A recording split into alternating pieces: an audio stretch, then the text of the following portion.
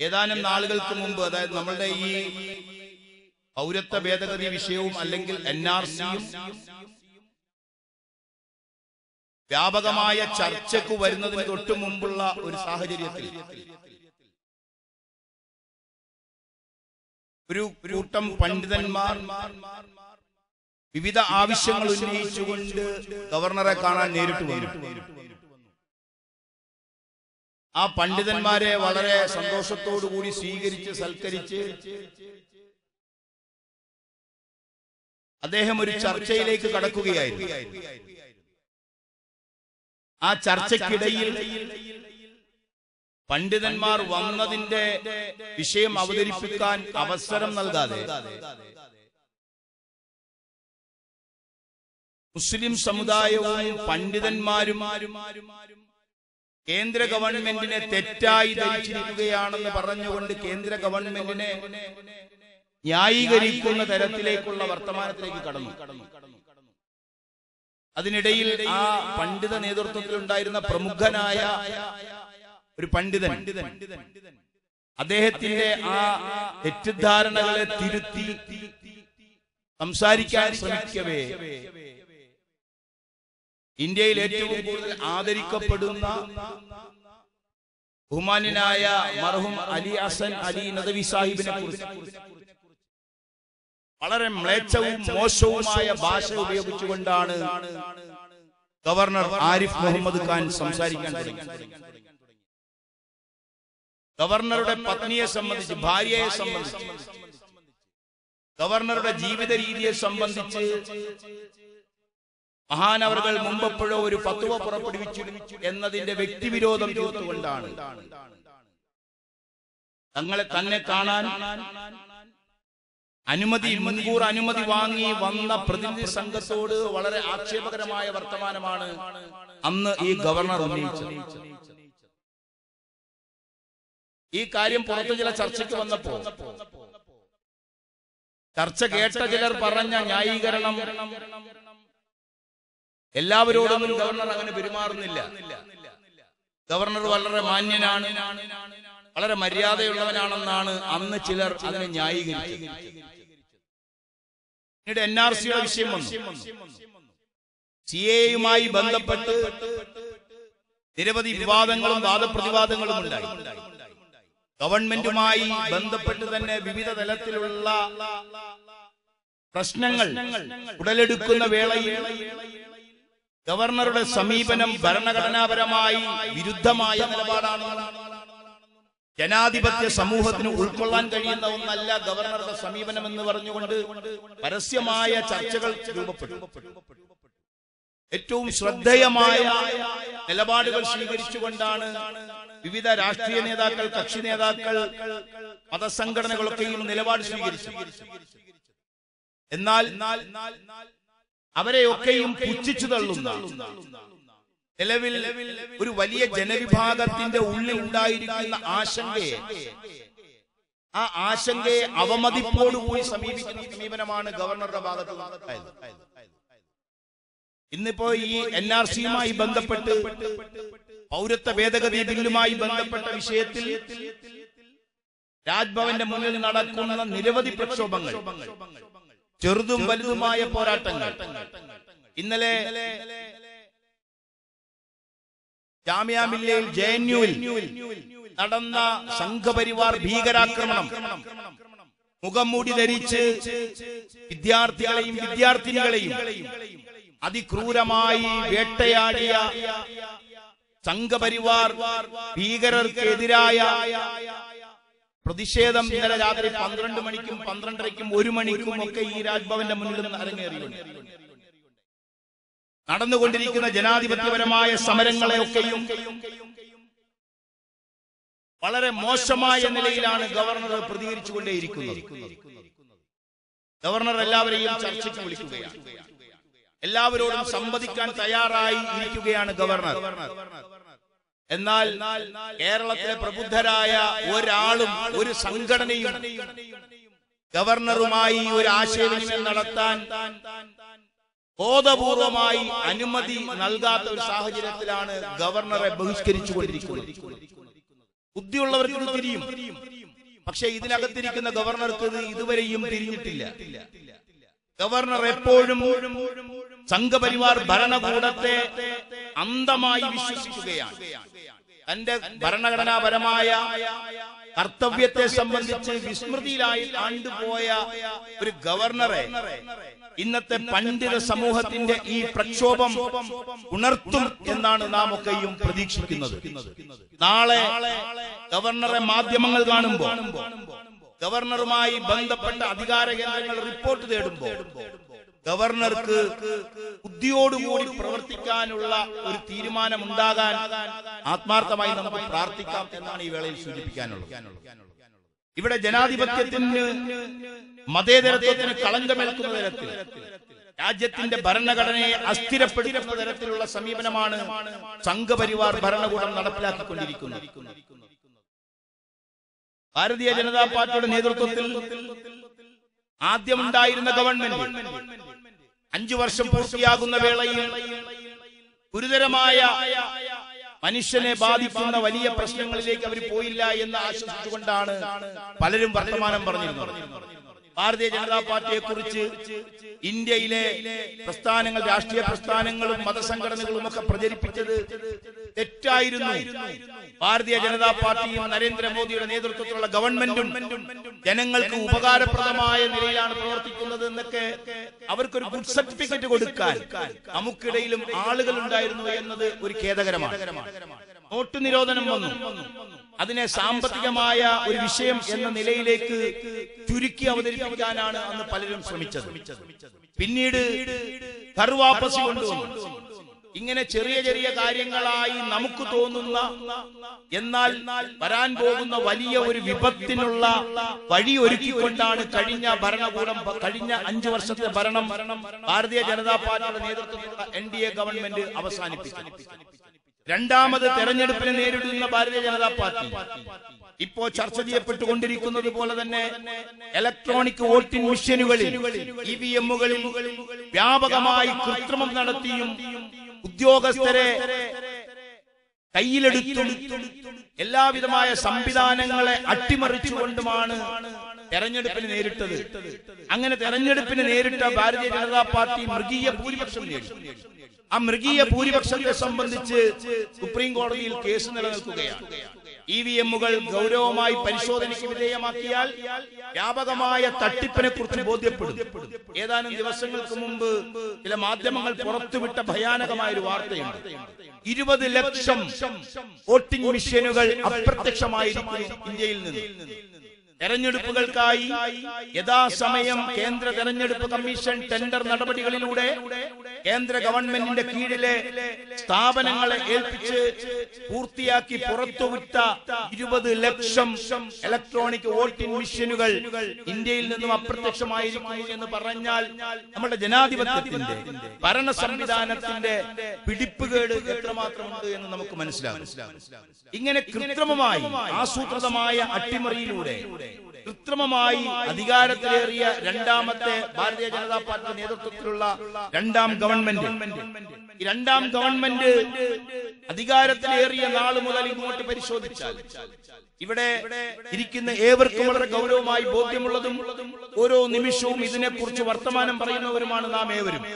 എങ്കിൽ കൂടി വളരെ നിശബ്ദമായ ഒരു സമൂഹമായി ഭരണകൂടം അടിച്ചേൽപ്പിക്കുന്ന ഭീകരതയ്ക്ക് മുമ്പിൽ പകച്ചു നിൽക്കുന്ന ഒരു സാഹചര്യമാണ് നമുക്ക് മുന്നിലുണ്ടായിരുന്നത് ഉത്തരേന്ത്യൻ തെരുവോരങ്ങളിൽ യു പിയിലും ബീഹാറിലും അതുപോലെ തന്നെ വിവിധ രാജസ്ഥാനിലും മധ്യപ്രദേശിലും അടക്കം പശു കടത്തിന്റെ പേരിൽ പശുമാംസം കൈവശം വെക്കുന്നു എന്നതിന്റെ പേരിൽ പശു ഇറച്ചി കഴിക്കുന്നു എന്നതിന്റെ പേരിൽ വ്യാപകമായി ആളുകളെ വൃദ്ധരെന്നോ ചെറുപ്പക്കാരെന്നോ ഭേദവ്യത്യാസമില്ലാതെ ആളുകളെ അതിമൃഗീയമായി തല്ലിച്ചതയ്ക്കുകയും തല്ലിക്കൊല്ലുകയും ചെയ്യുന്ന കിരാതമായ ഒരു പ്രവണത ഇറങ്ങി നാമൊക്കെയും നിശബ്ദരായി നോക്കുന്നു.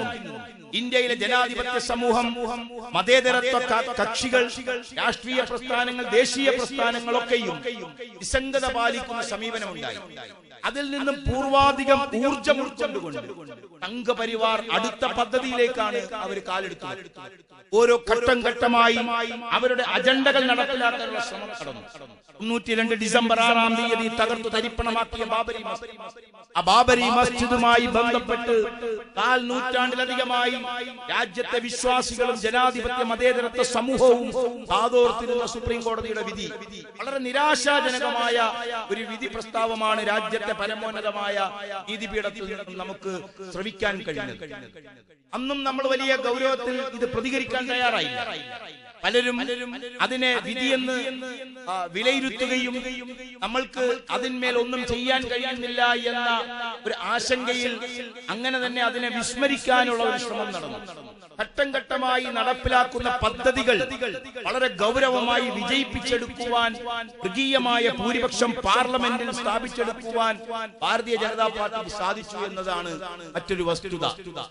നമ്മളിത് പറയുമ്പോഴും ജനാധിപത്യ മതേതര വിശ്വാസികളെ പ്രിയമുള്ള പണ്ഡിത സമൂഹമേ പാർലമെന്റിൽ ഭാരതീയ ജനതാ പാർട്ടിക്ക് അല്ലെങ്കിൽ ബി ജെ പി കക്ഷികൾക്ക് മൃഗീയ ഭൂരിപക്ഷമുണ്ട്. ഏത് നിയമം കൊണ്ടുവന്നാലും ഏത് ബില്ല് കൊണ്ടുവന്നാലും അതിനെ നിഷ്പ്രയാസം പാസാക്കി എടുക്കുന്നതിന് അവർക്ക് യാതൊരു തടസ്സവുമില്ല.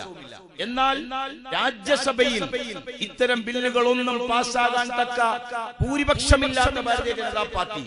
രാജ്യസഭയിലും അവരുടെ അജണ്ടകൾ വളരെ തന്ത്രപരമായി അവതരിപ്പിക്കുകയും കപട ദേശീയതയുടെയും അതിനെ എതിർക്കുന്നവരെ എന്ന ഒറ്റപ്പെടുത്തി ആക്രമിക്കാനുള്ള ശ്രമങ്ങൾ നടക്കുന്നതിനിടയിൽ വളരെ തന്ത്രപരമായി രാജ്യസഭകളിലും Bharatiya Janata Party N D A government കൊണ്ടുവന്ന പല ബില്ലുകളും പാസ്സായി.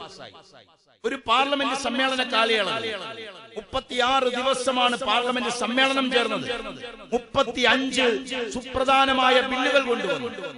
അതിൽ തന്നെ മുസ്ലിം സമൂഹത്തെ ബാധിക്കുന്ന മതവിശ്വാസികളെ ബാധിക്കുന്ന വിശ്വാസപരമായ അവരുടെ വിഷയത്തിൽ കൈകടത്തിക്കൊണ്ട് മുത്തലാഖ് ബില്ല് പാസ്സാക്കുകയുണ്ടായി പാർലമെന്റിൽ ഒന്നോ രണ്ടോ അംഗങ്ങൾ മാത്രമാണ് അതിനെതിരെ ഒന്ന് ശബ്ദിച്ച് സംസാരിക്കാനെങ്കിലും തയ്യാറായത്. പാർലമെന്റിൽ അമിത്ഷായുടെയും നരേന്ദ്രമോദിയുടെയും മുന്നിൽ ഒന്ന് നിവർന്നു നിന്ന് പ്രതിരോധിക്കാൻ പോലും തന്റെ ഇടമില്ലാത്ത തലത്തിലേക്ക് മതേതരത്വം എന്ന് അവകാശപ്പെടുന്ന ദേശീയ രാഷ്ട്രീയ പ്രസ്ഥാനങ്ങൾ പോലും വളരെ ഭയന്ന് ഒരു സാഹചര്യമാണ് നമുക്ക് കാണാൻ കഴിയുന്നത്. അങ്ങനെ ഓരോന്നും അവർ പതുക്കെ നടപ്പിലാക്കുകയും അത് വിജയിപ്പിക്കുകയും ചെയ്തുകൊണ്ടേയിരുന്നു. നമ്മെ ബാധിച്ചിരിക്കുന്ന രാജ്യത്തെ പാർശ്വവൽക്കരിക്കപ്പെട്ട അരികു ചേർത്ത് നിർത്തപ്പെട്ട ന്യൂനപക്ഷ വിഭാഗങ്ങളെ ബാധിച്ചിരിക്കുന്ന വല്ലാത്ത ഒരു ഭയം. ആ ഭയമാണ് ഇന്ന് സംഘപരിവാറിന് വളമായി അത് വളർന്ന് പന്തലിക്കുന്ന അവസ്ഥയിലേക്ക് എത്തി. ആരാണ് നമ്മെ സംബന്ധിച്ചിടത്തോളം നമ്മെ ഇത്ര ഭയപ്പെടുത്തി വെച്ചത് ആരാണെന്നത് വളരെ ഗൗരവമായ ഒരു ചർച്ചയാണ്. ഇന്ന് കേരളത്തിലെ മുഴുവൻ ജനതയെയും പ്രതിനിധാനം ചെയ്യുന്ന പണ്ഡിത സമൂഹം പകൽ മുഴുവനും രാത്രി മുഴുവനും ഒരു പോരാട്ടത്തിന് തയ്യാറാകുമ്പോൾ നാം ആരെയാണ് ഭയക്കുന്നത്? ആരെ ഭയന്നിട്ടാണ് നാം ഇങ്ങനെ നിശബ്ദത പാലിക്കുന്നത് എന്നത് ഗൗരവമായ ഒരു ചോദ്യമായ വിഷയം. ഇവിടെ ഈ ഭയത്തിൽ നിന്നും ജനതയെ പുറത്തേക്ക് കൊണ്ടുവരാൻ നേതൃത്വത്തെ പുറത്തേക്ക് കൊണ്ടുവരാൻ വിവിധങ്ങളായ ഇടപെടലുകളും പ്രചരണങ്ങളും പ്രവർത്തനങ്ങളും ഒരു ഭാഗത്ത് നടക്കുമ്പോൾ അങ്ങനെ നടത്തുന്നവരെ ഒറ്റപ്പെടുത്തി അവരെ ഒതുക്കി നിർത്താനുള്ള ഒരു ആസൂത്രിതമായ ശ്രമം നമ്മെ സംബന്ധിച്ചിടത്തോളം എല്ലാ തലങ്ങളിലും നടന്നു വരികയുണ്ടായി നമ്മളുടെ മുന്നിൽ ഒരുപാട് അനുഭവങ്ങളുണ്ട്. നമ്മളുടെ മുന്നിൽ വളരെ കൃത്യമായ അനുഭവങ്ങളുണ്ട്. ഇവിടെ ആര്യം കുന്നത്ത് കുഞ്ഞഹമ്മദ് ഹാജിയെ കുറിച്ചും അമ്പുറം തങ്ങളെ കുറിച്ചും ആലി മുസ്ലിയാരെ സംബന്ധിച്ചുമൊക്കെ വളരെ ഗൗരവമായി വേദികളിൽ പ്രഭാഷണം നടത്തുന്ന ഉലമാക്കൾ പോലും പലപ്പോഴും പല വിഷയങ്ങളിലും സംഗത പാലിച്ചത്. ഇന്ന് സംഘപരിവാറിനെ വളർന്നു വലിയ ഒരു പടുവൃക്ഷമാകുന്നതിന് അവസരം ഒരുക്കി. ന്യായമായും പറഞ്ഞാൽ അത് നിഷേധിക്കാൻ കഴിയില്ല. ഒരു വിമർശനമായി ഉന്നയിക്കുകയല്ല ബഹുമാനപ്പെട്ട നമ്മെ സംബന്ധിച്ചിടത്തോളം ഉലമാക്കൾ എന്ന് പറയുന്നത് ഈ രാജ്യത്തിന്റെ സമ്പത്താണ്. ആലിമിങ്ങളെ സംബന്ധിച്ചിടത്തോളം ഇസ്ലാം മതവിശ്വാസത്തിന്റെ ഏറ്റവും വലിയ പ്രതീകങ്ങളാണ്. അവരെ സംബന്ധിച്ച് അവർ വളരെ കുറെ കാലമായി നിശബ്ദതയിലായിരുന്നു. വിവിധങ്ങളായ ആശയപരമായ വിയോജിപ്പുകളിലായിരുന്നു. എന്നാൽ ഈ എൻ ആർ സി സി എയും നമ്മെ മുഴുവൻ വിയോജിപ്പുകളും മറന്നുകൊണ്ട് യോജിച്ച് പോരാടാൻ നമുക്ക് അവസരം ഒരുക്കിയത് മറ്റൊരു കാരണം മറ്റൊരു തലത്തിൽ സ്തുതിക്കപ്പെടേണ്ടത് തന്നെയാണ്.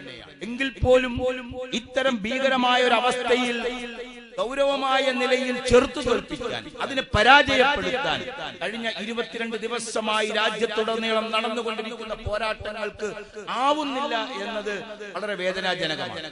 നമുക്ക് വേണ്ടി മുസ്ലിം ഉമ്മത്തിന് വേണ്ടി തെരുവുകളിൽ പോരാട്ടത്തിന് നേതൃത്വം കൊടുക്കുന്നത് മുസ്ലിമീങ്ങൾ മാത്രമല്ല. ഇവിടെ പലരും പറയുന്നത് പ്രസംഗിക്കുന്നത് ഇത് മുസ്ലിം പ്രശ്നമല്ല എന്ന് പലരും പറയുകയാണ്. ഞങ്ങളും പറയുന്നു ഇതൊരു മുസ്ലിം പ്രശ്നമല്ല. ഇന്ത്യയെ സംബന്ധിച്ചിടത്തോളം സംഘപരിവാർ ലക്ഷ്യം വെക്കുന്നതിൽ ആദ്യത്തെ പ്രമുഖ ശത്രുപക്ഷത്ത് നിൽക്കുന്നത് മുസ്ലിമീങ്ങളാണ്. മുസ്ലിമീങ്ങളെ ഭയപ്പെടുത്തി കീഴ്പ്പെടുത്തി ഭയപ്പെടാനും കീഴ്പ്പെടാനും തയ്യാറാകാത്തവരെ ആട്ടിപ്പായിക്കുകയും ചെയ്താൽ പിന്നീട് അവരുടെ ജോലി എളുപ്പമായി എന്നാണ് സംഘപരിവാർ കരുതുന്നത്. രണ്ടാമത് ഇവിടുത്തെ ന്യൂനപക്ഷ വിഭാഗമായ ക്രൈസ്തവരിലേക്കും പിന്നീട് ചെറിയ ഒരു വിഭാഗമായ കമ്മ്യൂണിസ്റ്റുകളിലേക്കും വേഗത്തിൽ കടന്നു ചെല്ലാമെന്ന ആർ എസ് എസിന്റെ സാത്വികമായ അവരുടെ പദ്ധതികൾ അവരുടെ ചിന്തകൾ അവരുടെ സമീപനങ്ങളും നിലപാടുകളും അത് നടപ്പിലാക്കാൻ തടസ്സമായി നിൽക്കുന്നത് മുസ്ലിം ജനവിഭാഗമാണ്. അവരെ ഇല്ലായ്മ ചെയ്യുക വഴി അല്ലെങ്കിൽ അവരെ ഒറ്റപ്പെടുത്തുക വഴി അവരുടെ പദ്ധതികൾ എളുപ്പത്തിൽ നടപ്പിലാക്കാമെന്ന് വ്യാമോഹിച്ച സംഘപരിവാർ ആർ എസ് എസ് വരണ്യവർഗത്തിന് കനത്ത തിരിച്ചടിയാണ് നേരിട്ടത്. നമ്മളൊന്ന് നോക്കൂ. സർവകലാശാലകളിൽ പോരാട്ടത്തിനിറങ്ങിയ വിദ്യാർത്ഥികൾ പോലീസിനും ഭരണകൂട ഭീകരതയ്ക്കുമെതിരെ പോരാട്ടത്തിന് മുന്നിൽ നിന്നത് പൂണൂൽ ധരിച്ച ബ്രാഹ്മണരായ വിദ്യാർത്ഥികളായിരുന്നു.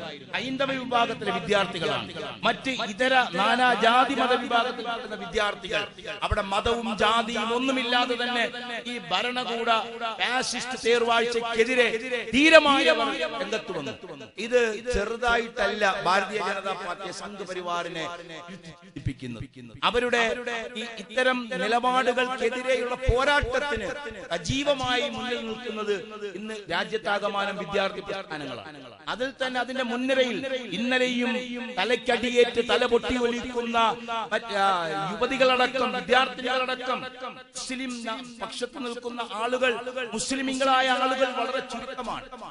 സർവോപരി ഈ പോരാട്ടങ്ങളുടെ മുന്നിൽ മുസ്ലിം ജനവിഭാഗത്തിന് ഒരു കവചമായി ഒരു പരിചയമായി നിൽക്കുന്നത് രാജ്യത്തെ നാനാജാതി മതവിഭാഗങ്ങളിൽ ഇത് ഭാരതീയ ജനതാ പാർട്ടിയെ സംബന്ധിച്ച് അവരുടെ അജണ്ടകൾ നടപ്പിലാക്കുന്നതിന് വലിയ തടസ്സം. സമയത്ത് ആർ എസ് എസിനെയും സംഘപരിവാറിനെയും ഒന്ന് ചെറുത്തു തോൽപ്പിക്കാൻ അല്ലെങ്കിൽ അവരെ എതിർത്ത് വർത്തമാനം പറയാൻ ഈ സമൂഹത്തിന് ശക്തമായ നിലയിൽ ഒരു തന്റെ ഇടമില്ലാതിരിക്കുന്ന ഒരു കാലഘട്ടം ഉണ്ടായിരുന്നു. എൺപത്തി ഒമ്പതുകളുടെ അവസാനത്തിൽ തൊണ്ണൂറുകളുടെ ആരംഭത്തിൽ രാജ്യത്തിന്റെ വിവിധ സംസ്ഥാനങ്ങളിൽ ആയിരക്കണക്കിന് ന്യൂനപക്ഷ വിഭാഗങ്ങളിലെ വിശിഷ്യ മുസ്ലിമിങ്ങളെ അരുംകൊലയ്ക്ക് വിധേയമാക്കപ്പെട്ടുകൊണ്ടിരിക്കുന്ന കാലഘട്ടം. നമ്മുടെ കേരളത്തിൽ പോലും തിരുവനന്തപുരം ജില്ലയിലെ കേശവദാസപുരത്ത് പോലും ഉലമാക്കളെ പള്ളിക്കകത്തും മദ്രസകൾക്കകത്തും വഴിയോരങ്ങളിലും നമസ്കാരത്തിന് പള്ളികളിലേക്ക് പോകുന്ന വഴികളിലും പതുങ്ങിയിരുന്ന സംഘപരിവാർ അതിഭീകരമായ നിലയിൽ അവരെ കൊലപ്പെടുത്തിയ സാഹചര്യമുണ്ട്.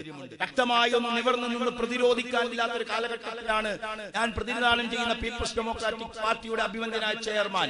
ഇസ്ലാമിക കേരളത്തിൽ ധീരമായ നിലപാട് സ്വീകരിച്ചിരുന്ന അബ്ദുൽ നാസർ മൈദനി അതിശക്തമായ നിലയിൽ തന്റെ വാഗ്ദോരണികളാൽ കേരളത്തിലെ പ്രബുദ്ധമായ ജനതയ്ക്ക് വസ്തുതകൾ അവതരിപ്പിച്ചു.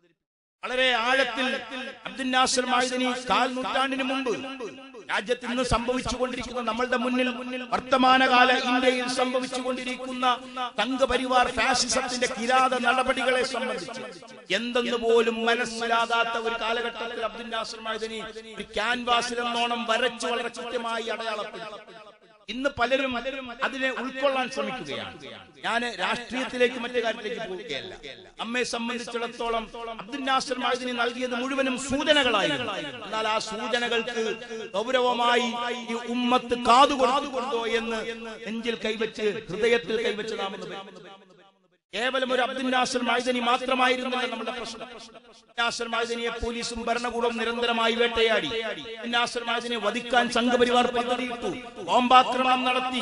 ജഗന്യന്താവിന്റെ അപാരമായ അനുഗ്രഹത്താൽ അദ്ദേഹം തലനാരിഴയ്ക്ക് രക്ഷപ്പെട്ടു. എന്നാൽ അബ്ദുൽ നാസർ മൈദനിയിൽ അവസാനിക്കുമെന്ന് കരുതിയിരുന്നിടത്തു നിന്നാണ് പുതിയ മൈദനിമാരെ തേടി സംഘപരിവാർ ഫാസിസം നമ്മിലേക്ക് കടന്നു വന്നത്. ഏറ്റവും ഒടുവിൽ നമുക്കറിയാം ഇന്ത്യയിലെ മുസ്ലിമീങ്ങളുടെ അഭിമാനമായിരുന്നു. രാഷ്ട്രീയപരമായി പലതരത്തിലുള്ള വിയോജിപ്പുകളുണ്ട് ആശയപരമായി പലതരത്തിലുള്ള വിയോജിപ്പുകൾ നമുക്ക് എല്ലാവർക്കും ഇടയിൽ പലപ്പോഴും ഉണ്ടായിട്ടുണ്ട്. എങ്കിൽ പോലും ഈ അഹമ്മദ് സാഹിബിനെ സംബന്ധിച്ചിടത്തോളം ലോകത്ത് ഇന്ത്യയിലെ മുസ്ലിമീങ്ങളുടെ അഭിമാനമായി ലോകരാഷ്ട്രങ്ങൾക്കിടയിൽ നയതന്ത്ര ബന്ധത്തിൽ ഏറ്റവും ധീരമായി മുന്നേറിയിരുന്ന വ്യക്തിത്വത്തിനുടമയായിരുന്നു ഒടുവിൽ അദ്ദേഹത്തെ സംഘപരിവാർ എത്രമാത്രം അപമാനപ്പെടുത്തിയാണ് കൊലപ്പെടുത്തിയത് എന്ന് പരിശോധിച്ചാൽ നമുക്കൊരിക്കലും ഉൾക്കൊള്ളാൻ കഴിയുന്ന തരത്തിലായിരുന്നു അങ്ങനെ എല്ലാ മേഖലകളിലുള്ളവരെയും തേടി സംഘപരിവാർ ഫാസിസം കടന്നു വരികയുണ്ടായി. അങ്ങനെ ഒരു സാഹചര്യത്തിൽ നിൽക്കുമ്പോൾ ചുരുക്കം ചില പ്രസ്ഥാനങ്ങൾ മാത്രമാണ്. ഇവിടെ ഇപ്പോ Popular Front social S D P I അടക്കം ചെറിയ പ്രസ്ഥാനങ്ങൾ ചുരുങ്ങിയ പ്രസ്ഥാനങ്ങൾ മാത്രമാണ് സംഘപരിവാറിനെതിരെ ധീരമായ നിലപാട് സ്വീകരിച്ചു നിലനിന്നിട്ടുള്ളത്. അബ്ദുൽ നാസർ തുടക്കം കുറിച്ച് അപൂർവങ്ങളിൽ അപൂർവമായ ചില സംഘടനകൾ ചില വ്യക്തികളിൽ കേന്ദ്രീകരിച്ച് നിന്നിരുന്ന പ്രതിരോധം ഇന്ന് നാഥന്റെ അനുഗ്രഹത്താൽ ഇത്തരം വിഷയങ്ങളിൽ നമുക്ക് ഐക്യപ്പെടാൻ സാധിക്കുന്നെങ്കിൽ വരും നാളുകളിൽ ഫാഷിസത്തിനെതിരായി സംഘപരിവാറിന്റെ തായ് വേരറുത്തല്ലാതെ ഈ പോരാട്ടം അവസാനിക്കുന്നില്ല എന്ന് ഇവിടെ ഇരിക്കുന്ന ഏമാൻ മനസ്സിലാക്കേണ്ടതുണ്ട്. ഇത് ആരുടെ പോരാട്ടമാണ്? ഈ പോരാട്ടത്തെ പുച്ഛിച്ചു തള്ളാനാണ് രാജ്യത്തിന്റെ ഭരണം കൈയാളുന്ന സംഘപരിവാർ കരുതുന്നതെങ്കിൽ നിങ്ങൾ മൂടന്മാരുടെ സ്വർഗത്തിലാണെന്നാണ് ഞങ്ങൾക്ക് ഈ ഉമ്മത്ത് ആരുടെ പിൻഗാമികളാണെന്ന് നിങ്ങളൊന്ന് പരിശോധിക്കണം. ആയിരത്തി എണ്ണൂറുകളിൽ തുടക്കം കുറിച്ച ഇന്ത്യ മഹാരാജ്യത്തിന്റെ ഒന്നാം സ്വാതന്ത്ര്യ സമര പോരാട്ടം. പോലെ ലോകപ്രസിദ്ധമായ ഇസ്ലാമിക കലാലയങ്ങളിൽ നിന്നാണ് എക്കാലവും പോരാട്ടങ്ങൾക്ക് വെള്ളവും വളവും നൽകപ്പെടുന്നത് കലാലയങ്ങളിൽ നിന്നാണ്. കലാലയങ്ങൾ മദ്രസകൾ കേവലം അൽഫുബ മദ്രസകളായി അവഹേളിക്കപ്പെടുന്ന ഈ കാലഘട്ടത്തിൽ അത്തരം മദ്രസകളിലെ അധ്യാപകരിൽ നിന്നാണ് സ്വാതന്ത്ര്യത്തിന് വേണ്ടിയുള്ള ശുദ്ധവായുവായുള്ള പോരാട്ടത്തിന്റെ ആദ്യാക്ഷരവും ആദ്യ മന്ത്രങ്ങളും ഉരുവിടപ്പെടുന്നത് അത്തരം കലാലയങ്ങളിൽ നിന്നായിരുന്നു. ആ കലാലയ പ്രക്ഷോഭമാണ്. രാജ്യത്തിന്റെ സർവകലാശാലകളിൽ അലയടിച്ചു. ഈ പോരാട്ടത്തെ കേവലം കുറെ മൗലിയാക്കന്മാർ ഇവിടെ വന്ന് പന്തൽ കെട്ടി ഉറങ്ങുന്നു. അല്ലെങ്കിൽ കുറച്ചു നേരം വിശ്രമിച്ചിട്ട് പോകുമെന്നാണ് ഭരണകൂടം കരുതുന്നതെങ്കിൽ ഒരിക്കൽ എനിക്ക് തോന്നുന്നു ഒരിക്കൽ ഞാനും കൂടി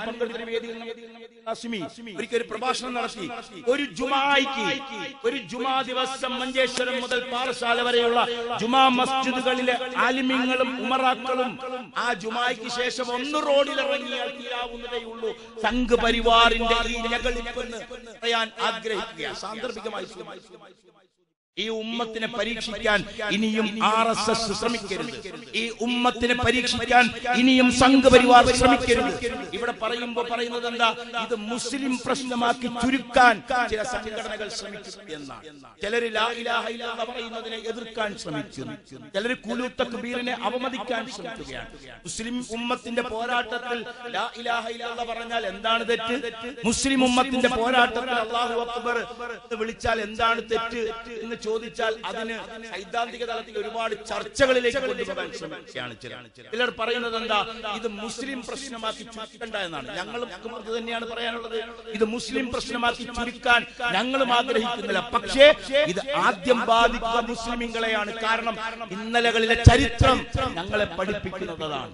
ഇവിടെ നഷ്ടപ്പെട്ടത് മുഴുവനും മുസ്ലിമുകൾക്കാണ് ഞങ്ങൾക്ക് ഭൗതികമായി നഷ്ടപ്പെട്ടത് മുഴുവൻ ഈ ഉമ്മത്തിനാണ്. ആ ഉമ്മത്തിനെ നോക്കിയിട്ട് നിങ്ങൾ പറയരുത്.